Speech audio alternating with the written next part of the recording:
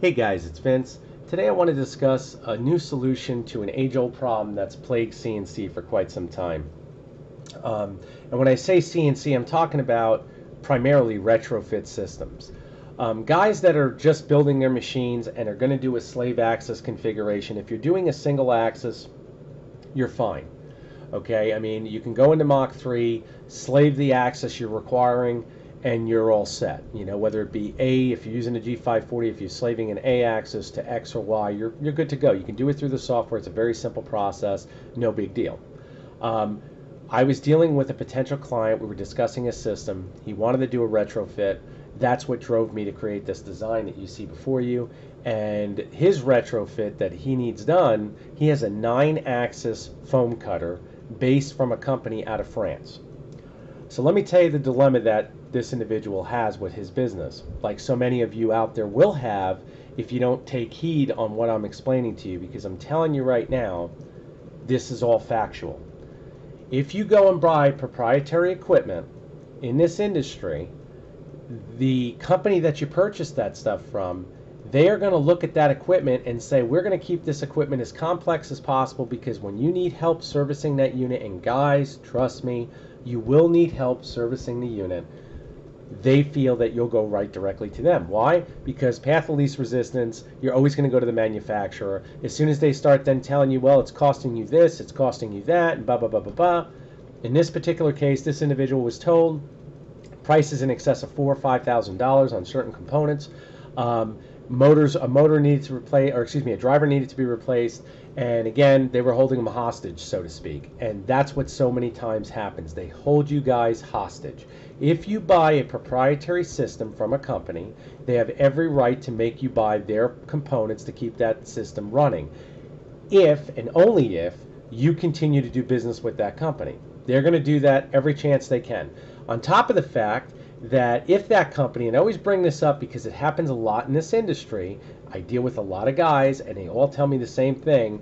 Oh, I've bought this system from this company. I was really happy with it. And then all of a sudden they went out of business.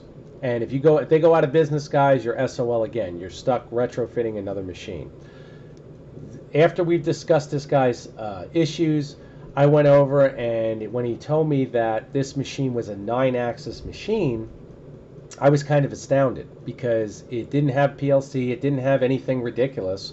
Um, when he told me the size of the motors of the particular machine, he said that on the x-axis it had four motors running in a slave configuration and each motor is only rated at 100 ounce inches. So let's do the math here. You've got 400 ounce inch motors on this chassis on the x and the y axis. And then on the z axis he has one motor because again the machine is only cutting foam. So we're dealing with a very light substrate. We're dealing with a situation that you have an individual who is basically locked to this company because he knows as well as I know Mach 3 UCCNC motion control software does not go past six axis. What that means is you can slave one axis in Mach 3. What you cannot do is slave one axis over and over and over and over again. It won't happen. You can't slave your x-axis, you know, to allocate five other drives to it or four other drives to it. It just doesn't happen.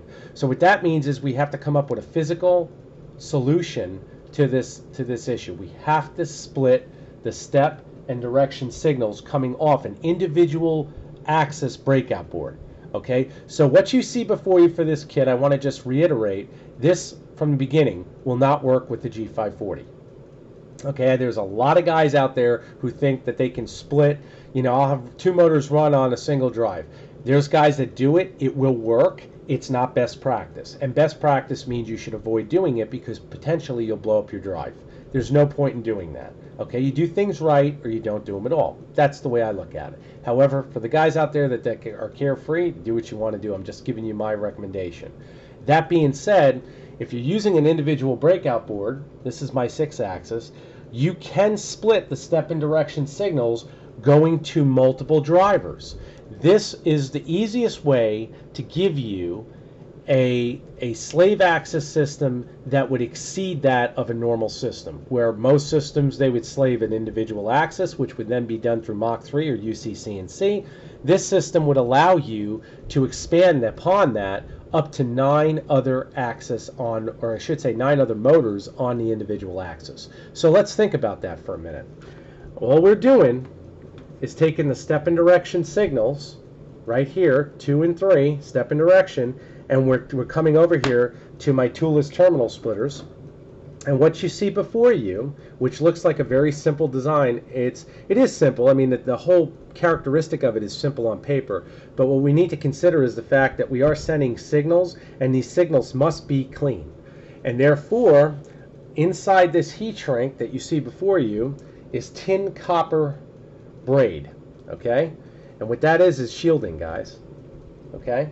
So what you're seeing before you is a cable I made out of silicone cable okay? So I'm actually making individual cables for this assembly to keep your cables as clean as far as signals go as they possibly can be.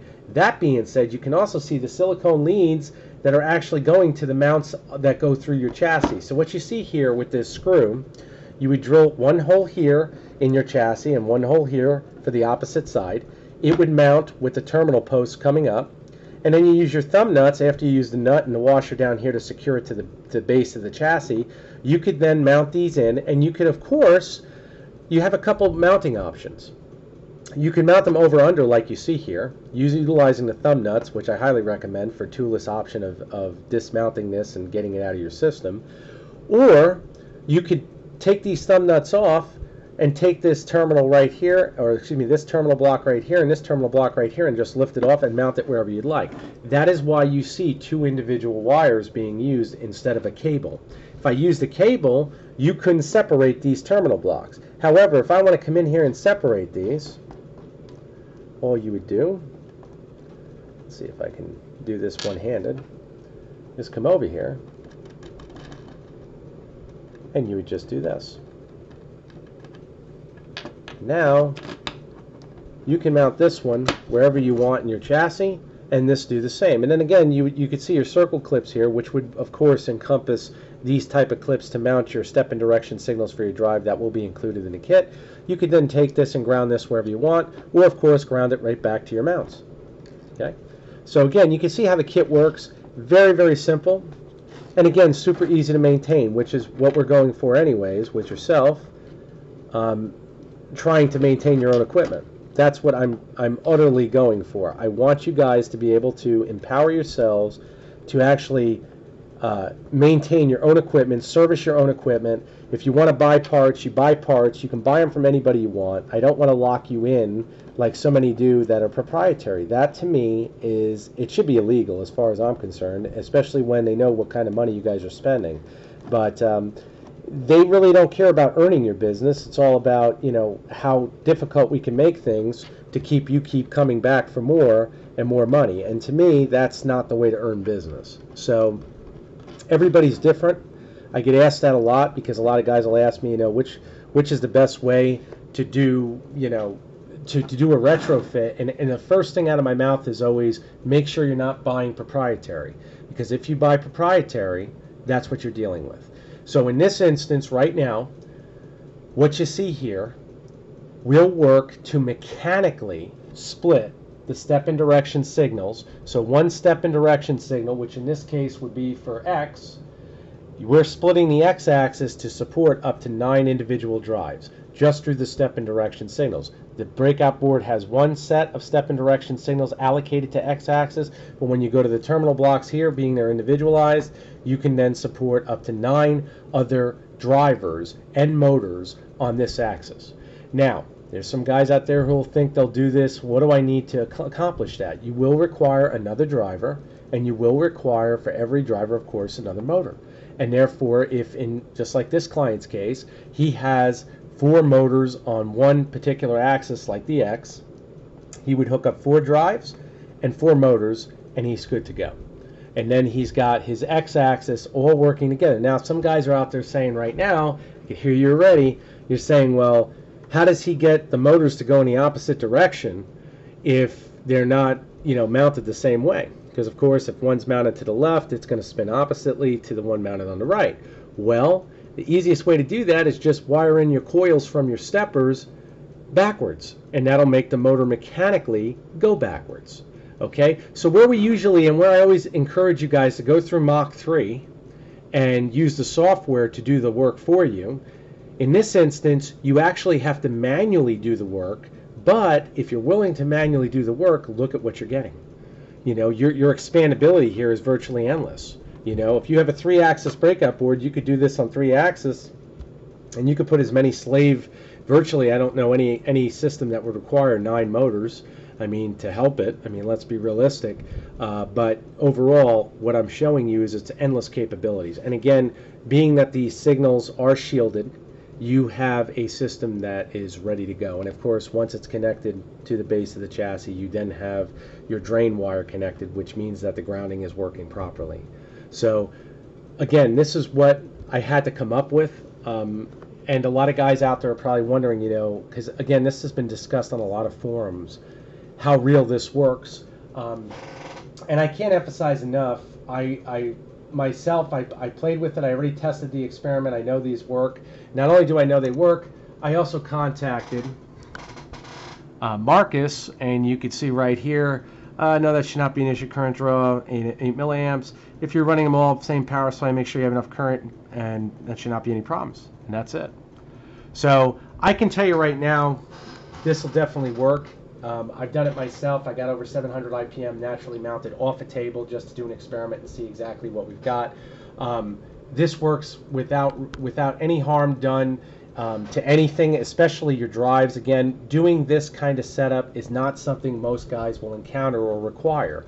But for the systems out there that that are looking at for the guys out there, I should say, that are looking at retrofitting a system that's older, has a, a, ridiculous amount of motors and a ridiculous amount of drivers, and you ask yourself why? Because again, we're looking at 100 ounce motors uh, and four of them on one axis instead of just using one 400 ounce. That I don't understand it. Or making the mechanical the mechanics of the machine done to where the transmission could utilize one motor that's by far more efficient. But they figure let's keep it as complex as possible because keeping complexity means that it'll perplex you to always go back to them.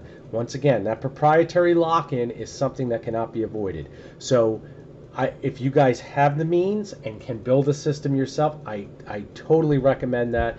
If you don't have the means, please be careful when you start purchasing proprietary items because when you start dealing with CNC components, it's it's like I said, it's kind of like the wild west of the 90s with Dell computers and so many other manufacturers where these systems were coming out and everything was proprietary. You had to buy memory, proprietary. You had to buy, you know, hell, they wanted to make it to where software was proprietary. So, I mean, realistically, as long as they own that that build capacity, they're going to sit there and say, well, everything you need, you have to buy from me.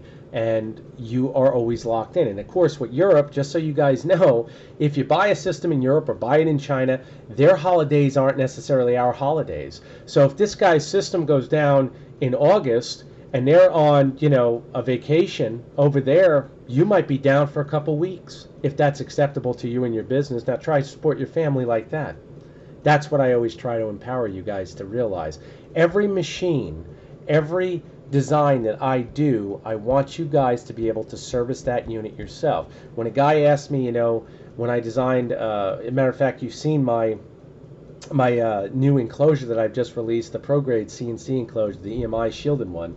Um, that design is very simple for you guys to work on yourself. It even comes with the schematics. The breakout board comes with a schematic. Nobody does that in this industry.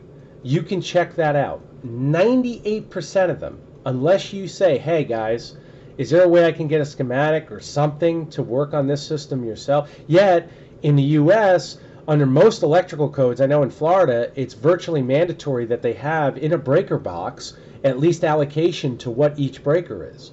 Um, you guys, when we think about electronics like this that could be running your, your business, it's frightening to think that these companies do that to us.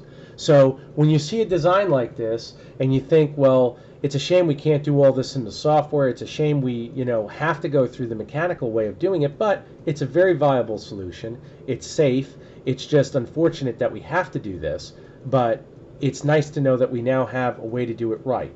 And again, if you guys do have any questions, I can custom make this. And again, for this client, I am going to be custom making these. Um, he needs two of them. Um, again, the cables are custom made. I can make these in any length you require. Um, I would ask if you do need one to please just naturally let me know what length you require and also what color wiring. I can tell you the colors I have available. Of course, inside the tin braided copper, I only use silicone wire. And again, silicone is used just for the flexibility and of course the heat resistance. This is the easiest wire to work with, guys.